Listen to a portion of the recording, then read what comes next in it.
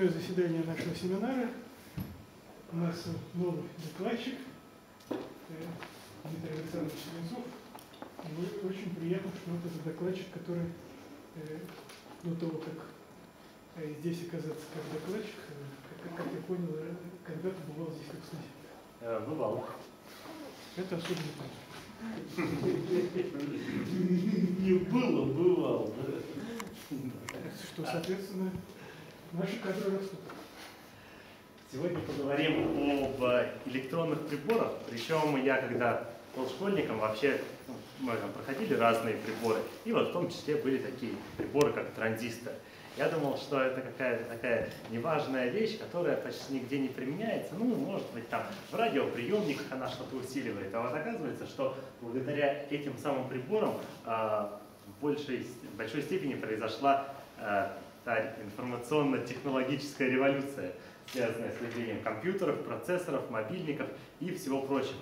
И мы на этом семинаре а, поймем, какие же физические законы лежат в основе этих самых транзисторов, которые являются основой процессора.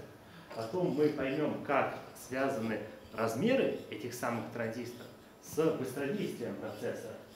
И э, э, вкратце немного поговорим о новых материалах для этих самых транзисторов и о некоторых э, новых подходах к решению проблемы более быстрых и более надежных вычислений. А, вот когда... А, вы, кстати, какого возраста здесь участники находящиеся? Какой курс? Я второй. Второй? Вы? Третий. Вы, наверное, застали время, когда в конце 90-х, начале 2000-х а, покупаешь компьютерную игру и думаешь, пойдет она или не пойдет. Вот если очень современная, то у тебя компьютер старый и может не потянуть ее. Так все быстро менялось. И действительно, вот с 96 -го года по 2009 системные требования к играм серии Need for Speed выросли во много раз. То есть от 66 МГц процессор требовался, а в 2009 3000 э, плюс, э, то 3000 МГц.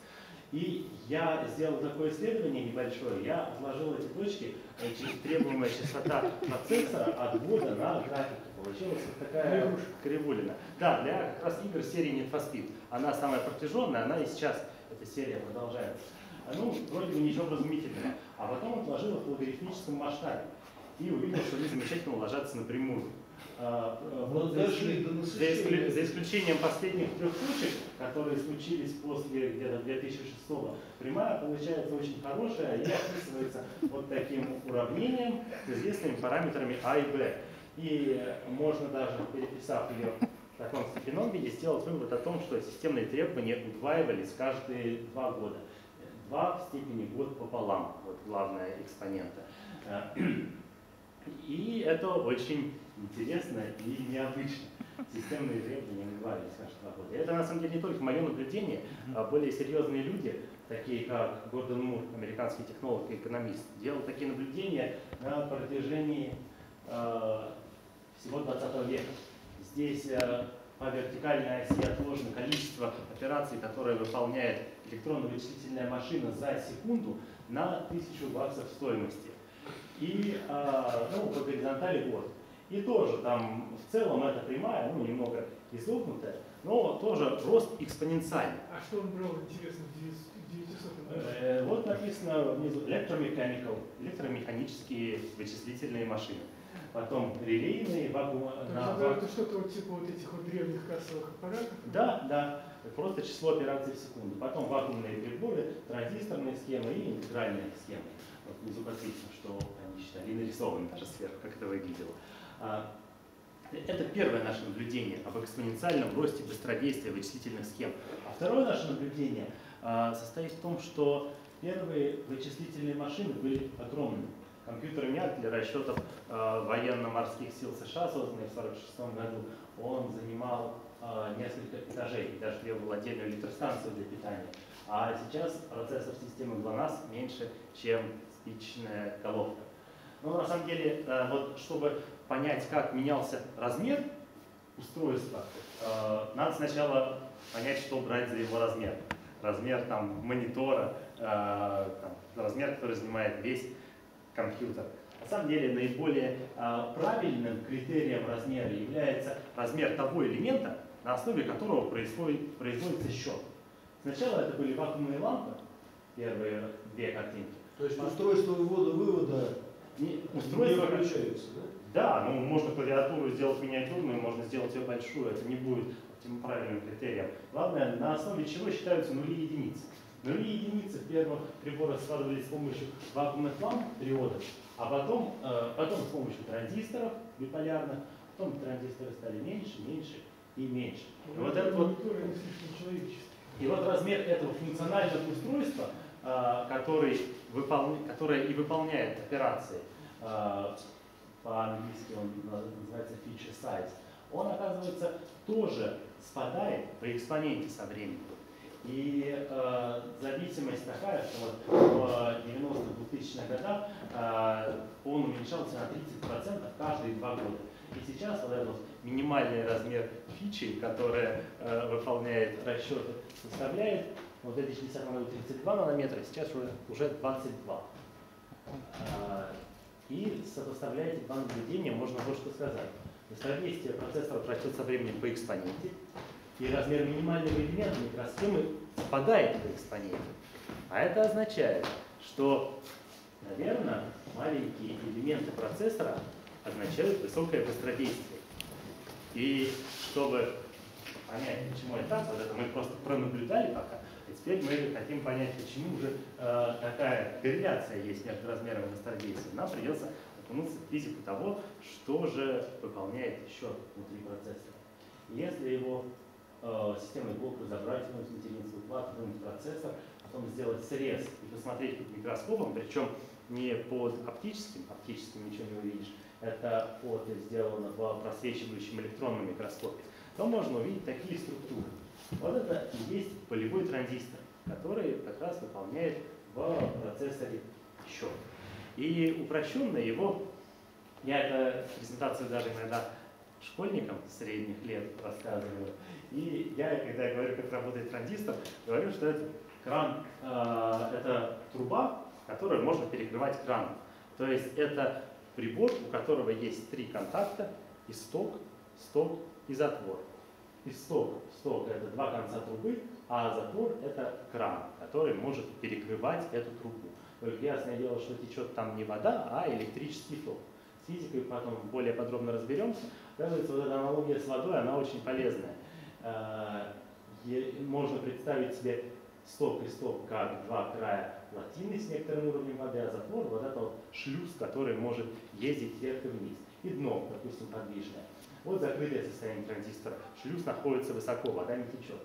Вот это вот э, мы подали напряжение на сток, опустили чуть нижний резервуар, но шлюз все равно не дает воде протекать. А потом затвор опустили, и вода теперь может течь. То есть транзистор э, при определенном напряжении в затворе может перейти в открытое состояние. Теперь, собственно, он делается на самом деле на основе полупроводников, а не на основе воды. Э, И чтобы понять, как это работает, я вот рисую настоящую схему полевого транзистора, как она выглядит сейчас. Он состоит из контактов металлических сток, сток. Отдельно от них изолирован затвор.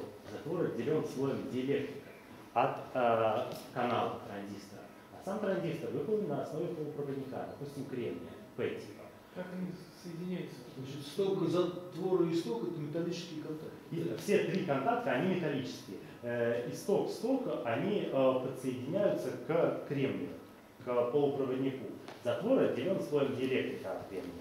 Вот, то есть э, на стати- статический ток затвор не пойдет. Э, он, э, вот. Причем под стоком и стоком делают карманы N-легирования, то есть электронное легирование, а сама подложка, допустим, P-тип. Это один из типов транзисторов. И вот если мы просто пытаемся подать напряжение между стоком и стоком, и э, такой прибор включен в цепь, то лампочка, которая включена в эту цепь, не загорится. И это видно из схемы слева, потому что такая конструкция представляет собой два встречно включенных PN-перехода.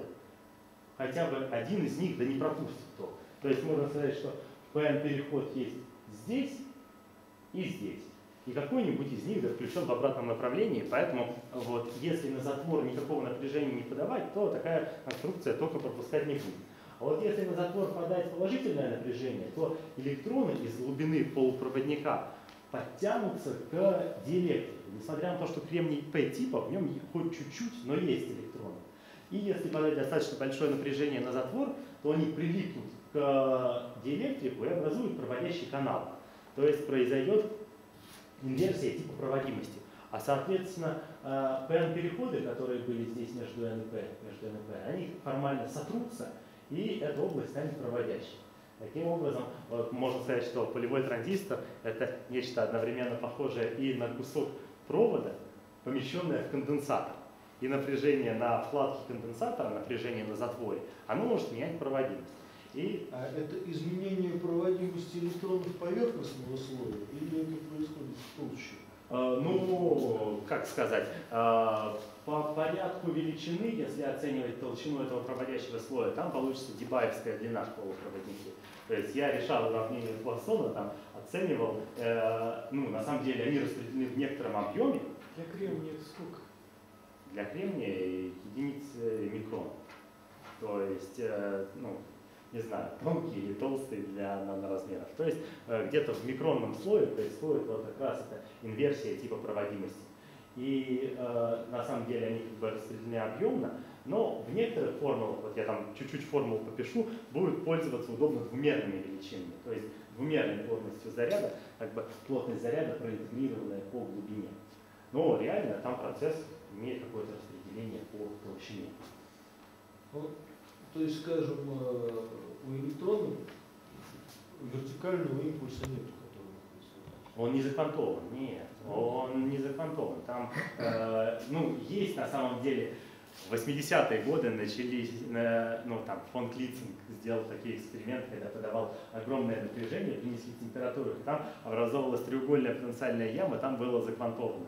Но это он подавал десятки вольт, а типичные транзисторы в процессорах работают на 1 э, вольт, полвольта.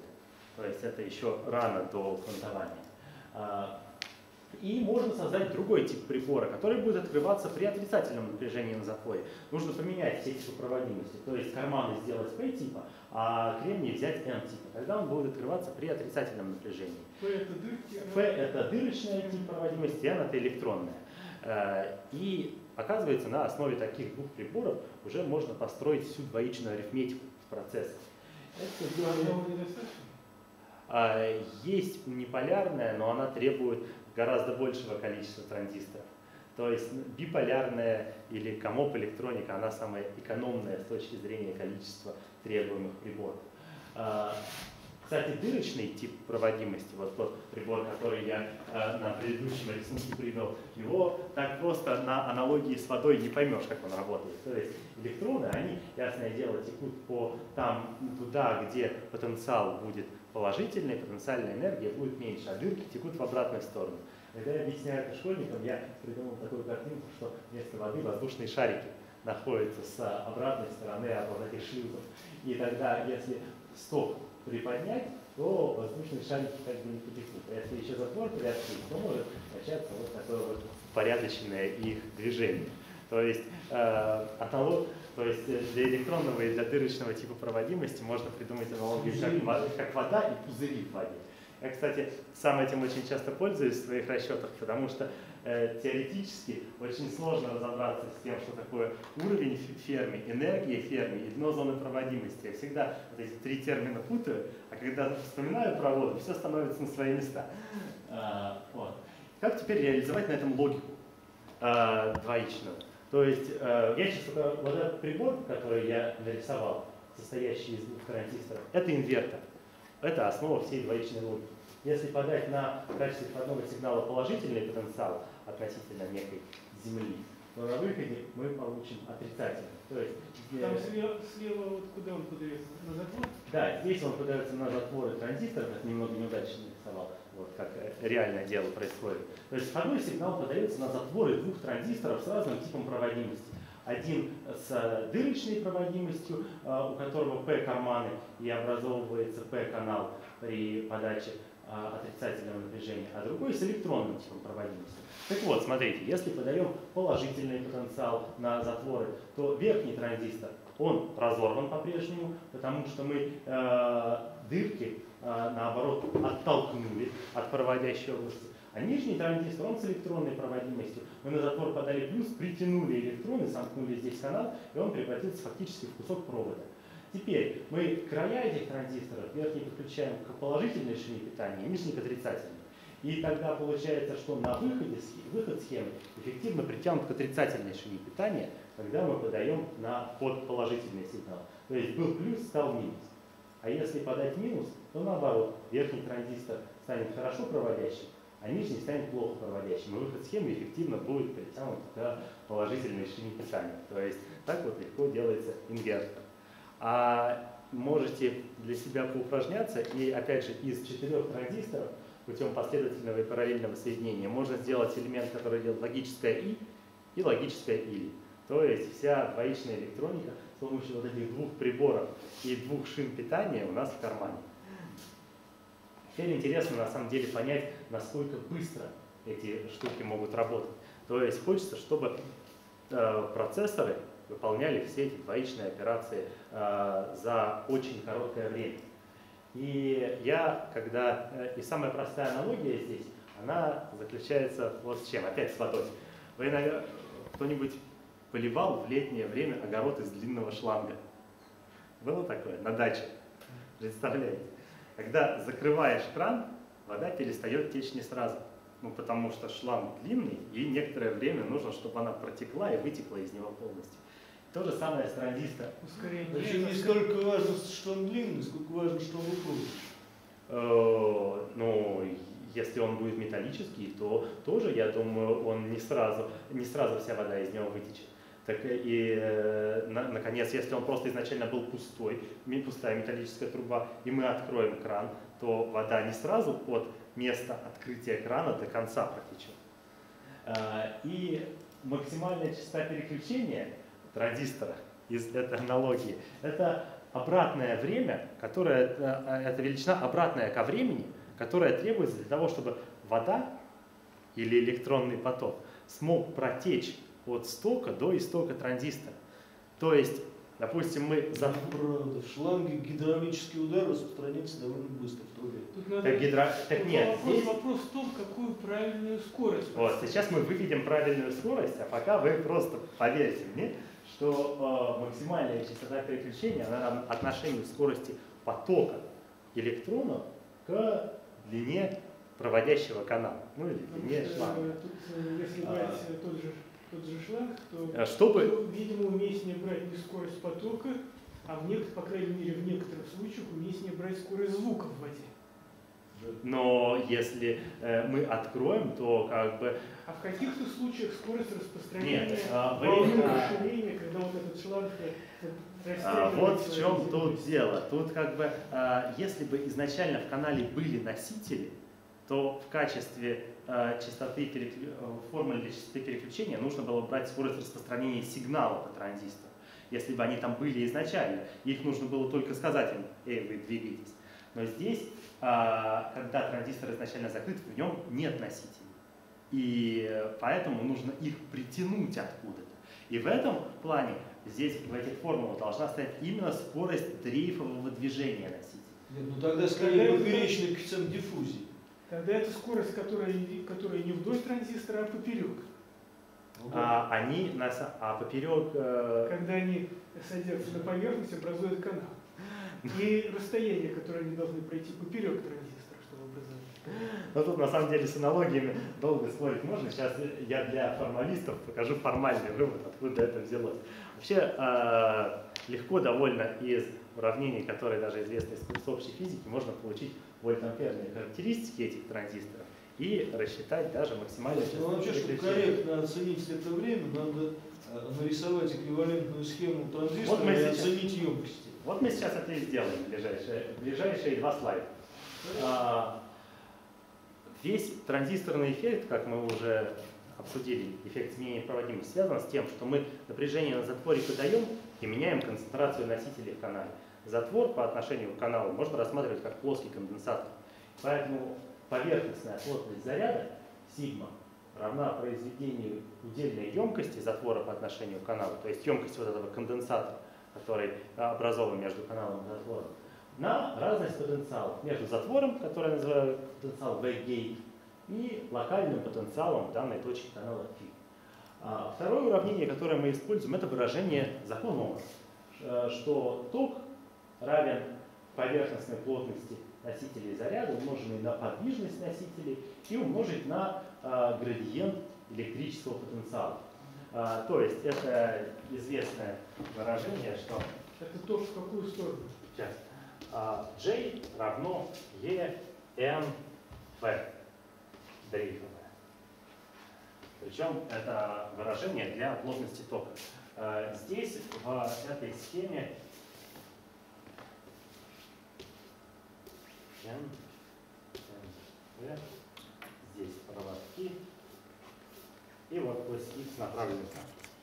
То есть это выражение для плотности тока, которая течет вот сюда при подаче положительного напряжения на стоп. А С – это емкость конденсатора, которая образована затвором и проводящим каналом. То есть, точнее... Здесь, наверное, все-таки не ток, а поток электронов, потому что принято, что ток течет от плюса. Да, поток электронов. Ну, э, не путайте меня за знак, пожалуйста. Знак получится хороший. Так вот, э, вместо поверхности, здесь ток измеряется в амперах на метр, то есть это ток на единицу ширины канала. А сигма – это поверхностная концентрация, которая измеряется в кулонах на квадратный метр, точнее поверхностная плотность заряда. Представляем сигму из э, уравнения, которое дает нам э, электростатическую связь между напряжением на затворе и локальным потенциалом, то уравнение, и еще пользуемся тем, что ток во всех сечениях сохраняется. То есть э, это выражение мы можем разнести переменной и проинтегрировать его от этой точки до этой точки. Здесь у нас электрический потенциал условно можно считать равным нулю, если у нас э, на э, истоке нулевой потенциал, а здесь потенциал равен напряжению стока, V-drain, которое приложено между истоком и истоком. А расстояние вот этого от стока до истока мы обозначим как L. Ну, вот это вот уравнение, оно легко интегрируется, и у нас получается следующее красивое вольтампер, что зависимость тока от напряжения на стоке и затворе дается вот такой э, красивой формулой. Э, если реально построить эту величину, то можно увидеть, что в ответственности э, нуля она растет линейно, потом выходит на параболу, а потом происходит что-то странное. То есть реально, если бы мы построили нашу параболу из предыдущего слайда до конца, то она бы э, дошла до максимума, а потом опрокинулась. Но реально это делать неправильно, потому что в тот момент, когда разность, э, когда она доходит до максимума, в канале по нашей предыдущей, по нашей первой формуле а, получается нулевая плотность заряда. То есть э, приближение о том, что ток переносится одними электронами, оно становится неоправданным. Нужно включать в рассмотрение еще и дырки, а дырки там появятся при уже других напряжениях на затворе. И э, реально в этой ситуации, когда в какой-то точке плотность заряда отходит близко к нулю, поступает такой режим транзистора, как насыщение то есть дальнейшее увеличение напряжения на э, стоке не приводит к росту тока. И вот реально на эксперименте наблюдаются такие характеристики. То есть наши формулы, они описывают хорошо вот эту кривую вплоть до э, вот этой точки, где она выходит на пол. Дальше она, мы ее описать не можем, нужны более сложные формулы. Ну, они, конечно же, есть, но я их просто не привожу здесь. А, так вот, если знать нашу характеристику, можно оценить как раз быстродействие нашего элемента. Быстродействие я предлагаю оценить на примере такой простой схемы, в которой транзистор используется не для логики, а для усиления слабых сигналов. Это проще всего. То есть идея вот такого усилителя состоит вот в чем. На затвор подается слабое переменное напряжение. За это напряжение на затворе модулирует сопротивление канала транзистора, э, модулирует проводимость участка цепи от плюса до земли и, соответственно, модулирует ток. А усиленный сигнал, пропорциональный току транзистора, помноженному на вот это сопротивление, снимается с резистора. И э, коэффициент усиления этого транзистора по току – это отношение усиленного тока к току, который переменный втекает в него через затвор. И вот если э, взять наше выражение из прошлого слайда, вот, э, выражение для G, и посчитать, как, э, как поменяется это выражение при небольшом изменении напряжения на гейте, то мы можем получить как раз вот эту вот э, величину усиленного тока. Причем на практике реально транзисторы чаще всего работают в режиме насыщения, когда V-гейт и V-drain это одно и то же. Так вот, если взять нашу эту формулу при равных напряжениях на стоке и на затворе, потом взять от нее дифференциал и э, сравнить эту величину с током через конденсатор. А ток через конденсатор это произведение его проводимости и омега С, умноженное на напряжение между, между пластинами.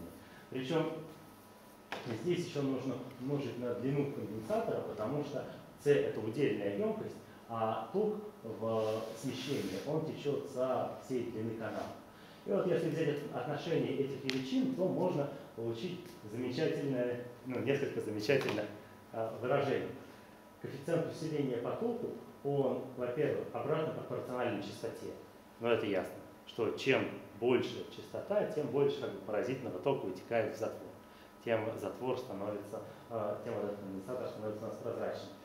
А сверху у него стоит величина μe, где e это напряженность тянущего поля. То есть это э, напряжение на стойке, деленное на длину канала. А μe это не что иное, это произведение подвижности на напряженность поля. Это не что иное, как скорость дрейфа носителей как раз вот в этом направлении. Ну и после небольших игр можно увидеть, что вот этот вот коэффициент усиления равен единице, на частоту и на t-time of flight, время пролета. Э, то есть э, этот коэффициент э, при малых частотах он очень высок, а потом обращается в единицу.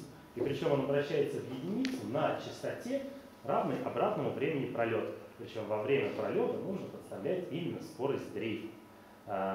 И из этого, кстати, выражения понятно, почему вот уже из этого выражения понятно, почему нужно миниатюризировать все э, транзисторы для достижения более хорошего быстродействия. Мы видим, что при заданном напряжении на стоке его э, быстродействие будет, э, его максимальная частота будет обратно пропорциональна L квадрат, то есть будет обратно пропорциональна его длине. Поэтому маленькие транзисторы являются более быстродействующими, чем большие. И э, старые транзисторы, соответственно, которые имели большой размер, имели очень малую частоту переключения.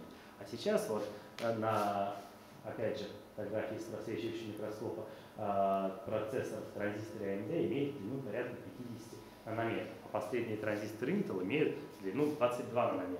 И, соответственно, можно предсказать, какое гигантское ускорение в частоте быстродействия произошло благодаря такому изменению длины. А, на самом деле, помимо а, того увеличения быстродействия, о котором я раньше рассказал, произошел еще очень качественный такой переворот в работе этих приборов. Вот те приборы, которые были большими, они были, так сказать, диффузионно-дрейфовыми. То есть можно сказать, что в них электрический ток тек как вода, и частицы сильно сталкивались. Кстати, вот э, в школьной физике не оценивали случайно, с какой скоростью течет ток в проводах, допустим, от пальчиковой батарейки в лампочке? Сколько там? Километров в секунду, метров в секунду? Скорость? Миллиметров в секунду. Да, миллиметров в секунду. То есть скорость дрейфа, упорядоченного дрейфа носителя, она очень маленькая. Однако такое описание гидродинамическое, оно верно только если а, частица на своем пути от стока до истока успела много раз столкнуться и ее направление скорости хаотизировалось. А вот в коротких транзисторах может сложиться такая ситуация, что частица пролетает от стока до истока ни разу не успев столкнуться. Причем с той скоростью, которой она обладала как бы в резервуаре. То есть здесь ситуация похожа на то, как будто мы взяли два разных сосуда с газом с разным давлением, продырявили небольшую дырочку и просто, э, ну, совсем небольшую, такую, что реализуется такой кнутсоновский режим течения. И э, частицы просто перетекают из области с большим давлением в область с меньшим давлением. Ну, то есть здесь, конечно, не давление, а разность прило... ну, разность потенциалов заставляет их это делать. Тогда тут э, возникает совсем глупый вопрос. А зачем туда электроны притягивать, если они и так и прилетают? А здесь работает... притянуть, не полетят. А, здесь на самом деле... Летят же не те электроны, что притянули, а Сейчас. электроны Здесь на самом деле есть два описания работы приборов, и они не очень гармонично переходят друг в друга. Сейчас я об этом расскажу. Насчет вашего вопроса относится к такому баллистическому режиму полета, зачем их притягивать. Здесь их движение легче интерпретировать так, как будто э, там, мячики или камушки взбираются на голову. То есть, если подать, например, вот, допустим, листок,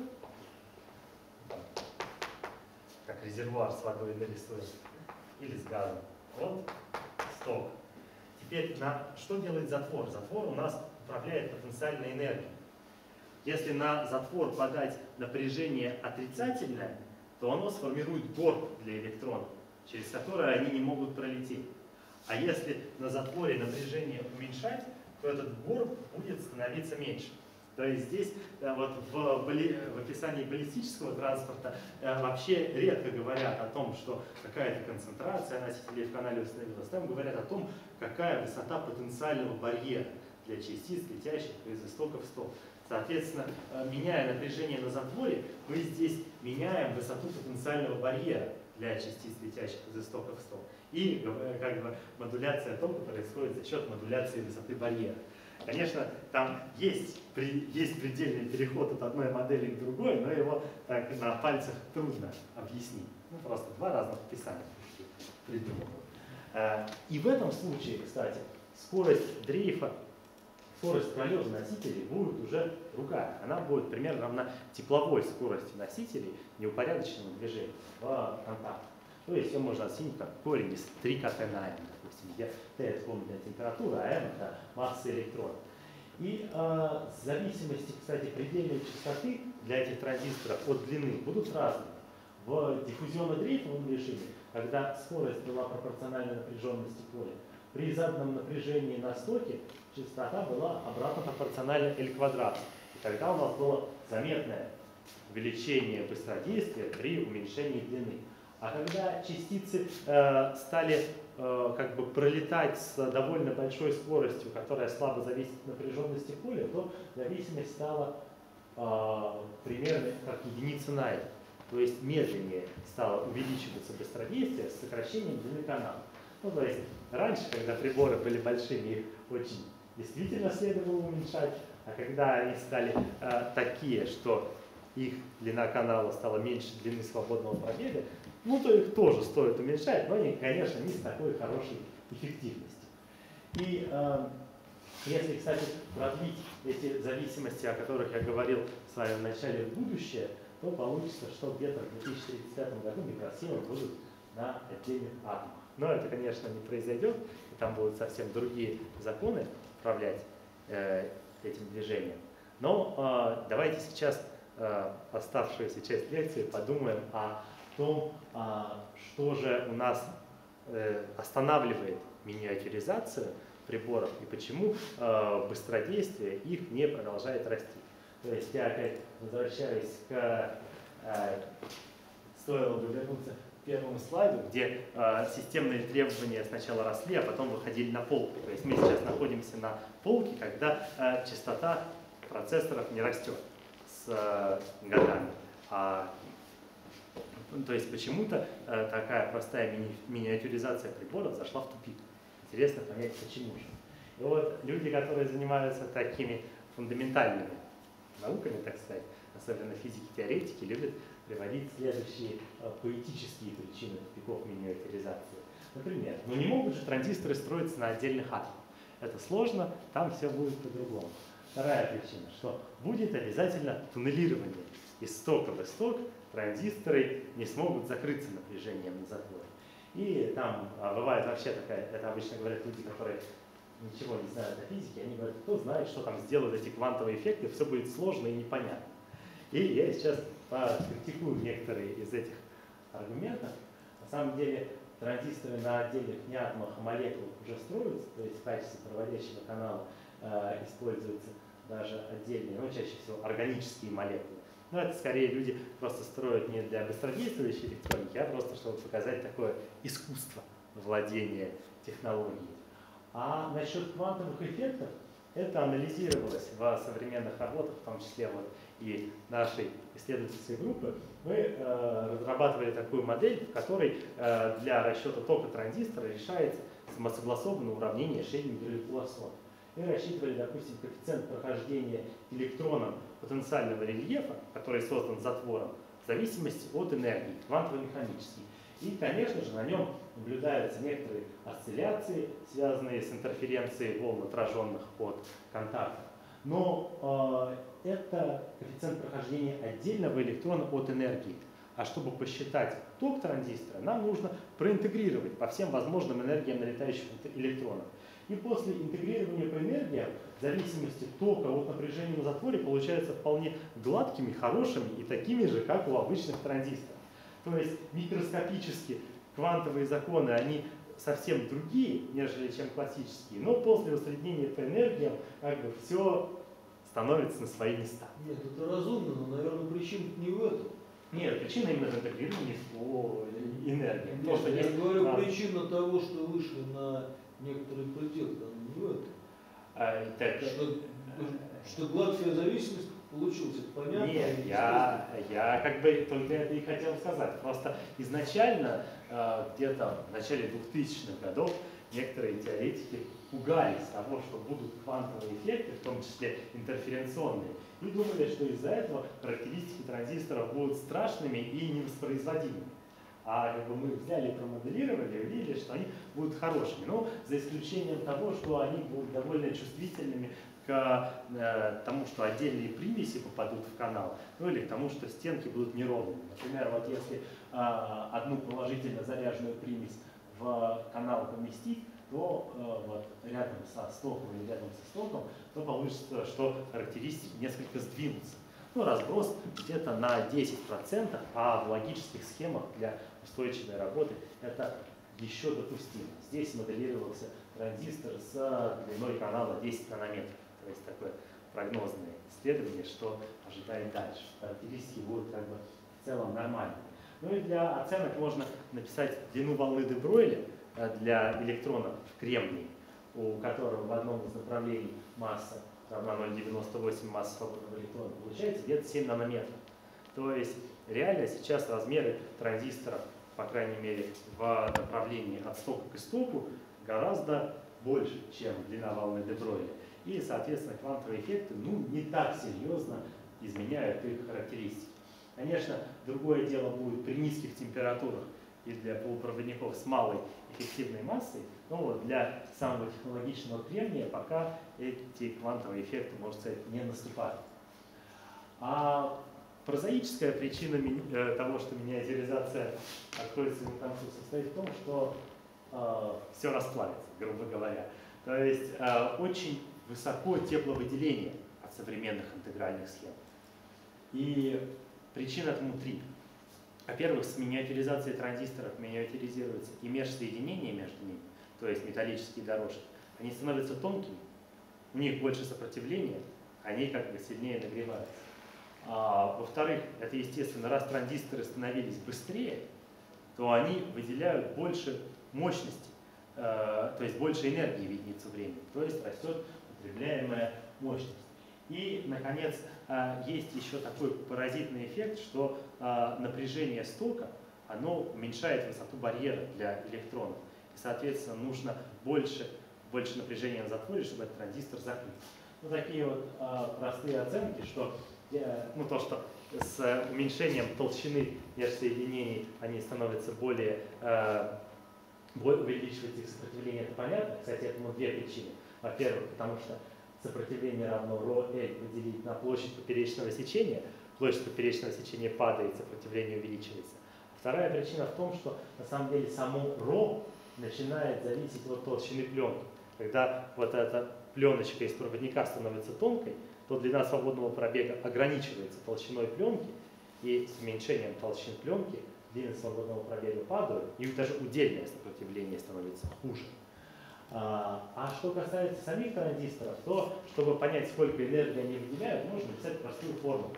Они выделяют энергию, связанную с перезарядкой вот этого конденсатора, затвор по отношению к каналу, это CV квадрат пополам. И чтобы получить мощность, нужно умножить на частоту переключения.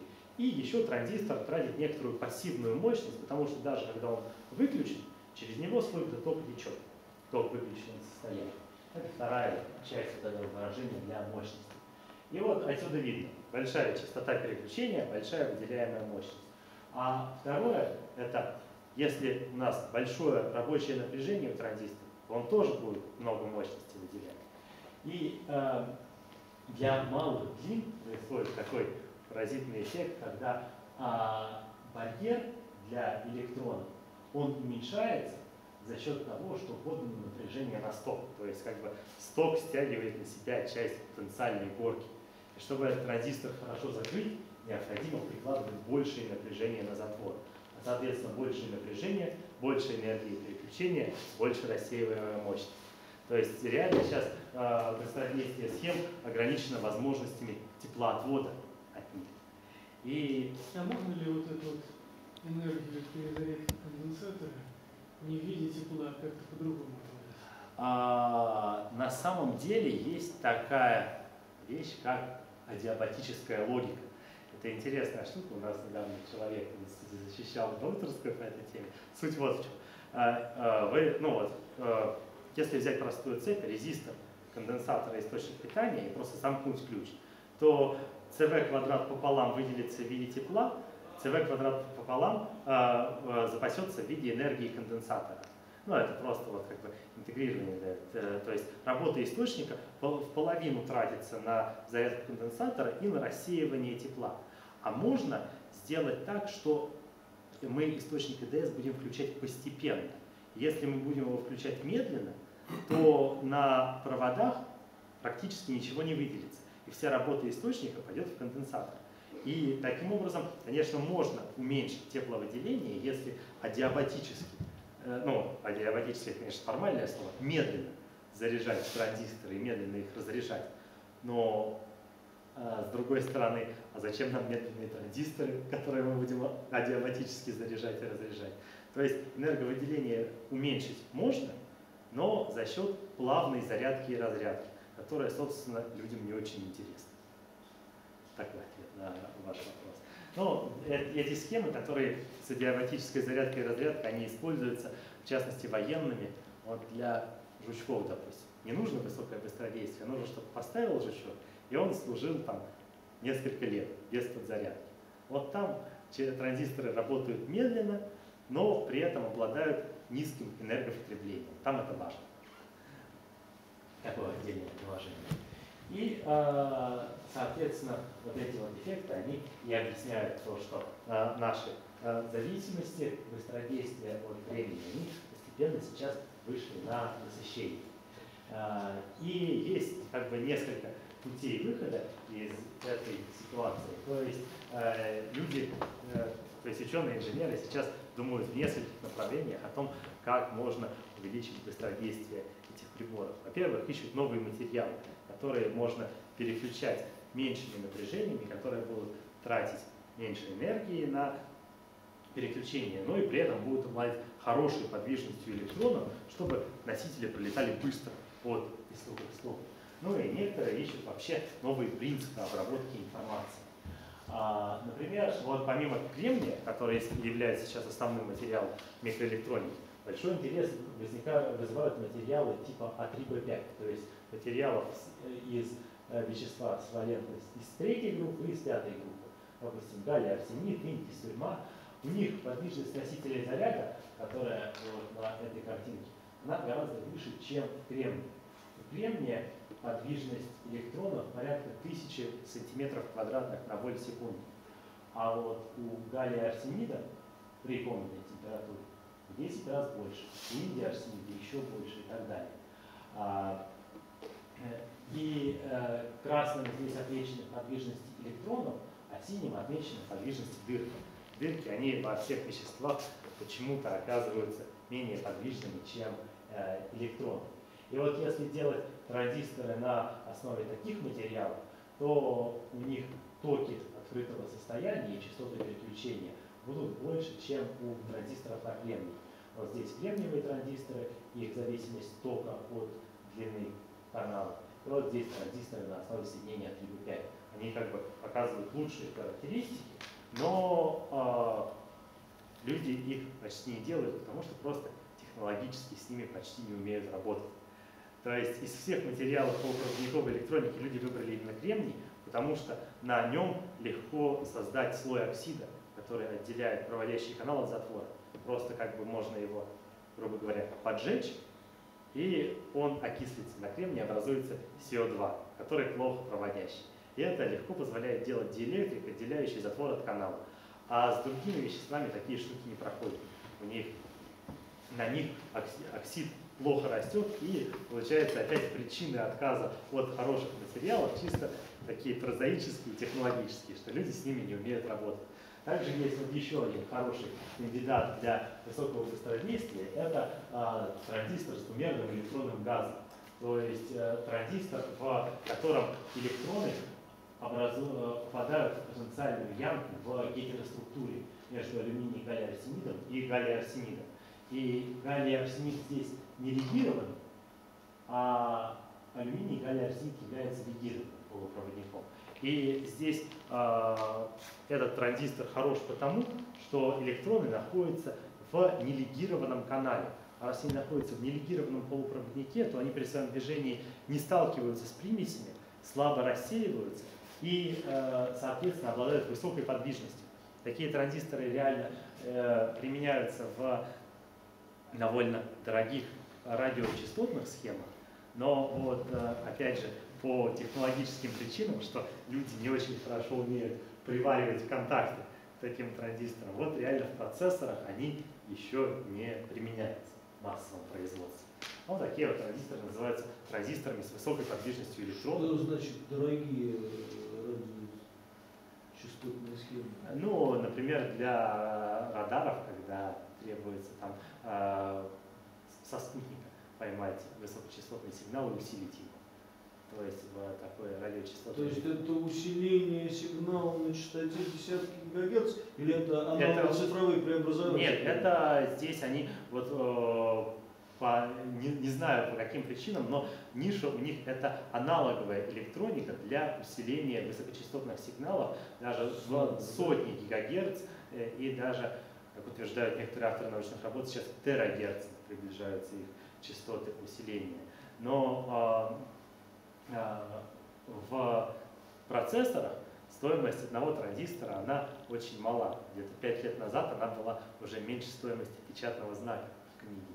И реально, чтобы транзистору пробиться в процессорные технологии, нужно, чтобы его можно было сделать очень легко, дешево и сердито.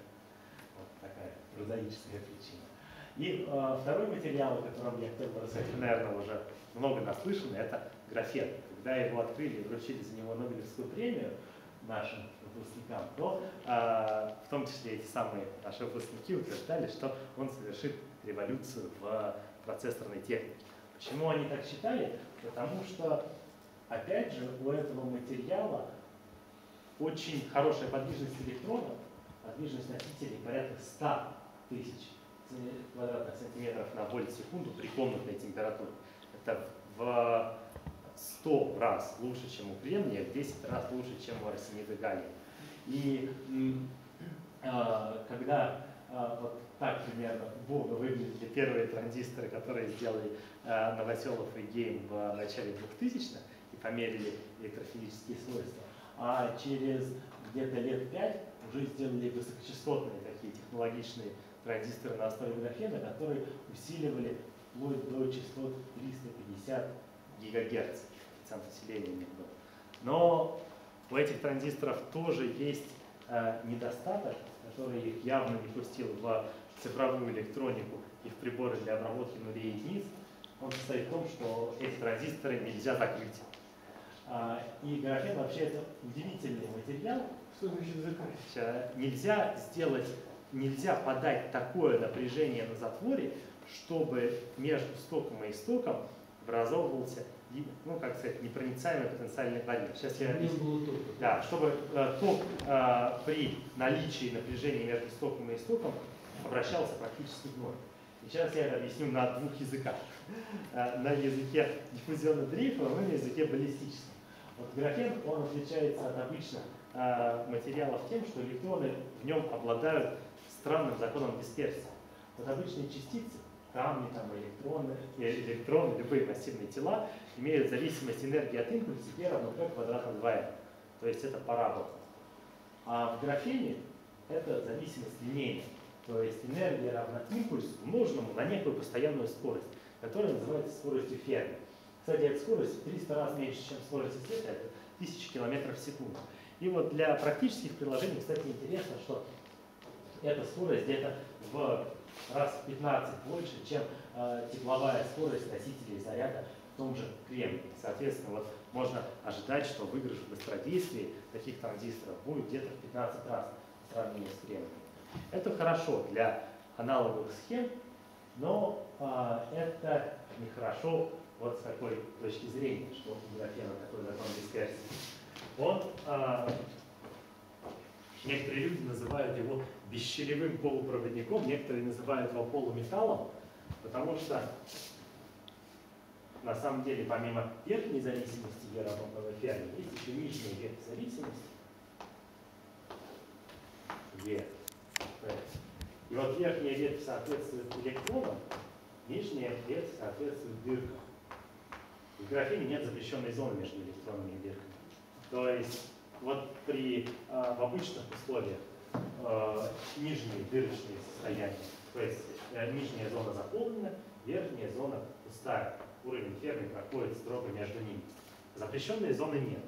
И получается, что э, если э, подавать напряжение на затвор такого транзистора, то мы либо будем э, притягивать в нем электроны, делать в нем больше электронов, либо мы будем создавать в нем дырочную проводимость при другом типе полярности.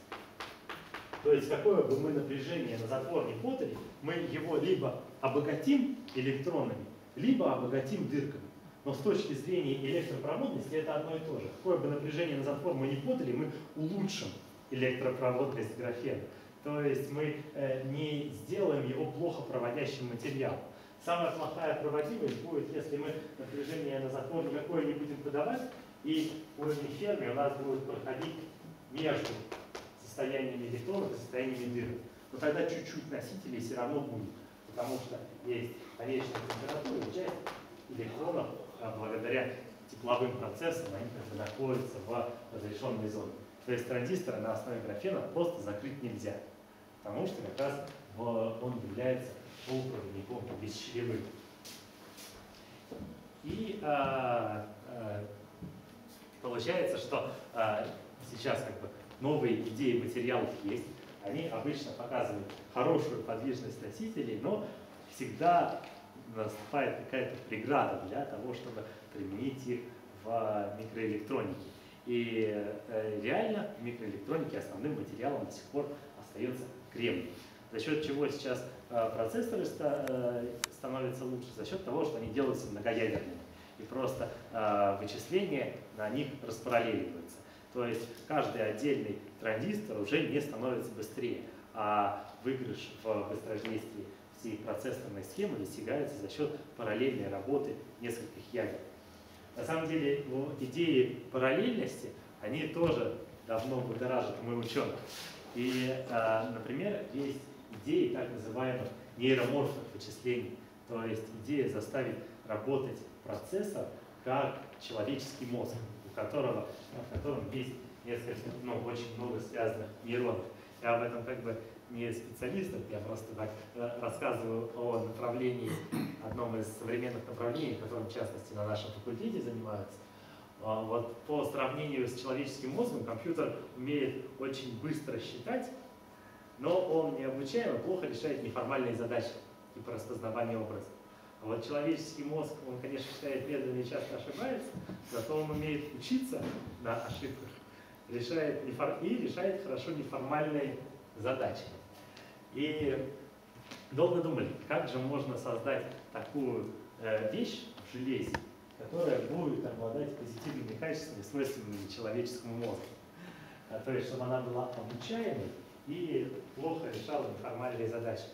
И такие вещи придумали, они, э, ну, кстати, яркое такое сравнение из зарубежной статьи, что для того, чтобы промоделировать работу кошачьего мозга на суперкомпьютере, э, понадобился суперкомпьютер Blue GNP со 147 тысячами центральных процессоров и 144 терабайтами памяти. И э, при, при этом они утверждали, что 83 раза медленнее обрабатывались сигналы в таком компьютере, чем в реальном мозгу кошки. То есть даже двухтая кошка, она э, некоторые задачи э, решает быстрее, чем современные формальные компьютеры. И, э, соответственно, ученые подумали, а давай... по каким критериям оценивают быстродействие? Не знаю, честно скажу. Могу, можем найти статью, вы сможете прочитать и э, понять, по каким критериям. Э, и подумали, что надо, наверное, что-то реализовать в железе, похожее на нейрон, который есть у нас в мозгу. И, э, даже в середине 20 века придумали ему математическую модель. Нейрон, по сути, это сумматор и компаратор, который э, складывает входящие на него нервные импульсы, потом сравнивает с некоторым порогом, стоит ли пропускать этот сигнал дальше или не стоит, и раздает на следующий нейрон. На самом деле такую вещь, как сумматор и компаратор, у которого коэффициенты при членах суммы можно менять, ее э, реализовали давно. И эта вещь называется нейронная сеть. Нейронные сети, причем реализуются программно. То есть это сделали на, а, обычном, на обычном языке программирования, сделали такую штуку. И она действительно а, лежит в основе программ, например, распознавания образов. Ну, вот, есть программы Atemi, которые распознают текст. В их основе там могут э, лежать нейронные сети, которые обучились э, ставить в соответствие, допустим, букве рукописного шрифта какой-то формальный символ. Но это не реализ... Но компьютерные сети, они не реализуют всех возможностей человеческого мозга, потому что э, нейронная сеть на компьютере будет все равно проходить при выполнении задач через центральный процессор, который действия выполняет последовательно. А в мозгу все действия выполняются параллельно. Поэтому хочется создать что-то в железе, что выполняло бы действия как нейроны и при этом параллельно. И такую штуку э, даже создавали э, с помощью операционных усилителей. Оказывается, можно создать модель нейронов.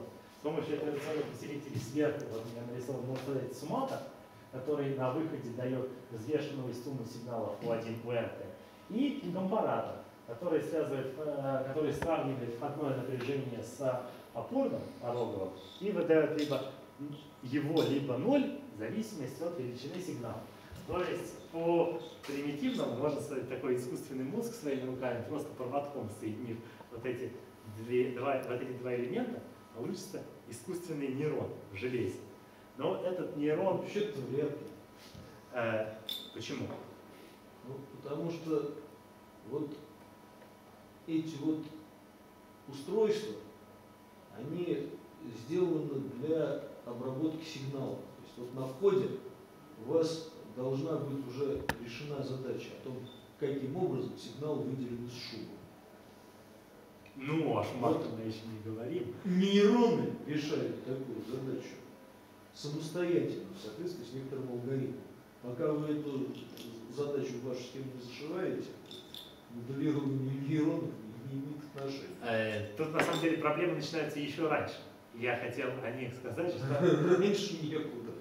А, на самом деле эта вещь будет плоха тем, что она, в отличие от... То есть она на самом деле решает такие вещи, могут решать некоторые задачи распознавания образа. То есть, допустим, есть много... А, ну, реально мы, допустим, занимались такими задачами. Есть несколько сенсоров на, допустим, отравляющие вещества э, газовые, каждый из которых откликается на все, но по-разному. И необходимо как-то, зная все отклики сенсоров, узнать, какое вещество и в каком количестве в атмосферу было введено. И очень трудно как бы узнать э, коэффициенты отклика, они к тому же меняются. Но оказывается, если э, взять такую нейронную сеть и обучить ее на тестовых примерах, чтобы она давала правильные ответы при некоторых тестовых ходах, то есть довольно большая вероятность, что она потом будет давать э, верный ответ. То есть любую нейронную сеть сначала надо обучить на правильных сигналах из внешнего мира, чтобы она давала правильный ответ, а потом она уже, конечно, будет мыслить ну самостоятельно. да, то есть задать множество возможных сигналов. Конечно, вот это возможно и решает эту проблему. То есть любую нейронную сеть, ясное дело, надо обучать. Но и человек сначала чему-то научился, как-то выделять эти сигналы из окружающего мира. Это не обучение, это просто оптимизация работы канала связи. А, ну, в процессе обучения реально происходит вот на машинном языке подстройка вот этих весовых коэффициентов, которые подходят на каждый нейрон, и подстройка порога сравнения. То есть мы э, входа, входы сумматора меняем и порог компаратора. И таким образом учим каждый нейрон на тестовых примерах. Но вот такая схема в железе, она плохая тем, что она не обучаем, легко не, ее нельзя обучить. Ее можно обучать только, если эти резисторы будут подстроечными, и человек будет с отверткой крутить. Это очень неудобно. И вот самая ключевая проблема в создании таких схем мозгоподобных является э, в том, что нужно создать э, элемент, который мог бы менять свою проводимость в зависимости от его предыстории. То есть в зависимости от того, как мы научили некий элемент, он меняет свои свойства. И такой элемент, он был создан, он называется мемристором. То есть э, он как бы является аналогом синапса в нейроне. Синапс это вот одной канал. И что? Неизвестно, насколько он является аналогом синапса. Ну, в, э, по крайней мере, для реализации тех сетей, то есть тех математических моделей нейронных сетей, которые уже зарекомендовались для в распознавании образа программы, это является полным аналогом. То есть, Давайте скажем, что есть настоящие нейроны, а есть вот нейроны, которые вот из информатики. А, ну, Стандартная вот, модель, которая, это, кстати, которая очень... показала свою плодотворность на некоторых задачах, но имеет ли она отношение к настоящим нейронам, это отдельная задача, которую мы Это, кстати, очень хорошее замечание, что э, есть математическая модель нейронной сети, которую я рассказал, которую я зарекомендовал уже, которой от мозга что-то взято, а что-то, ну, как, может, не оптимальное или нереализуемое, его не взять. Нет, но эта задача решается со времен Шеннона. И взято тут от мозга или от электромеханических релей, это большой вопрос. А что от электромеханических? Обучаемость хочется сделать. Ну, пока Обучаемость на транзисторах. Обучение э, сводится к оптимизации отношения сигнал-шум на правильное решение к ошибочному решению. Ну, понятно. Но вопрос, как это я... Я не спорю с задачей. Я говорю о том, как ее сейчас решают в современной технике. При описанном множестве сигналов. Ну, вы, э, это все равно, что вы сказали, мы хотим всему миру сделать хорошо, и, это задача со времен начала человечества. Я, а, вот. А, реально этот а, прибор, который и является прототипом синапса, мемриста, он может менять свое сопротивление в зависимости от того, сколько тока через него прошло. И его можно обучать, давая через него токовые импульсы. Реально он может представлять себе разные вещи, но проще всего э, представить его как проводящий канал, который может либо смыкаться между двумя электродами, либо размыкаться. То есть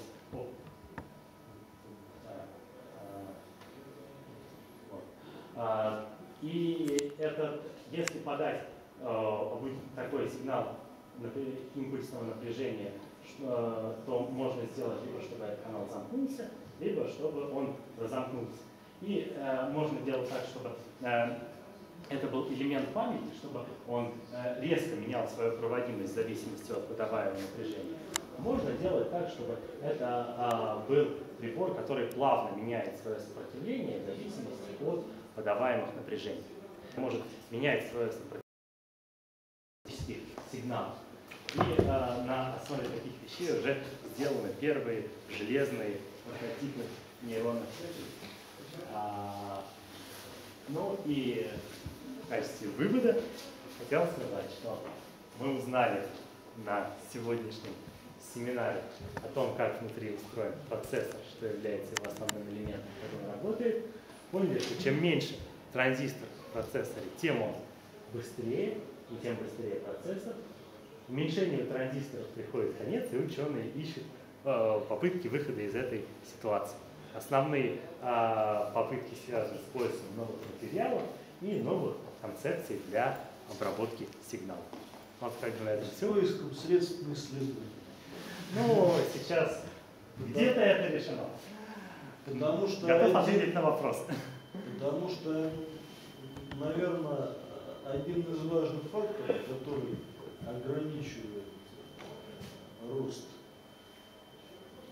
быстродействия, это снижение средств, э, отпущенных на исследование. Потому что задач для таких э,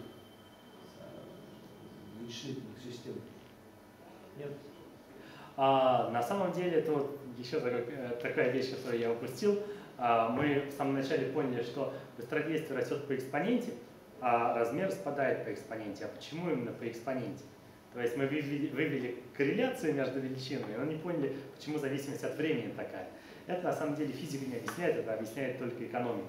То есть как бы, чем больше вливаний денег было в э, процессорную промышленность, тем как бы лучше были э, компьютеры, тем лучше они продавались. И компании тем больше средств получали на дополнительные исследования. Вот. А сейчас они как бы а, а, поняли, возможно, что более разумно будет делать параллельные а, ну, процессоры с несколькими ядрами, где будут выполняться параллельные вычисления.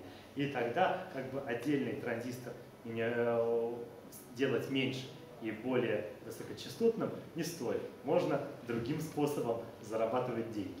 Вот, конечно, есть э, приложения, которые требуют реально высокочастотной электроники еще быстрее, чем э, у теперешних процессоров, но они э, более узкие, то есть потребитель обходится. По поводу объяснения закона Мура встречались такие вопросы, что закон Мура отчасти объясняется тем, что он используется э, компаниями при планировании разработок. Но сейчас, я думаю, они уже делают оговорки. Нет, но закон Мура встречается достаточно часто. Каждый раз, когда э, происходило какое-то революционное э, открытие, да, ну, от э, социальной гигиены до там, до улучшения там, техники растениеводства наблюдался где-то экспоненциальный рост численности людей в соответствующей местности. Потом он выходил на насыщение. Поэтому, в общем, закон Мура, он присутствует и здесь, но вот интервал его применения ограничен. Ну, почти практически весь 20 век это хорошо. То есть с точки зрения проанализированной зависимости, начиная от электромеханических реле до э, современных процессоров, там охват приличный. Тут вот вопрос такой, что после того, как закон Мура был обнародован, насколько он влиял на свое собственное поддержание. Ну да, люди, наверное, хотели его найти и там, где его реально не было.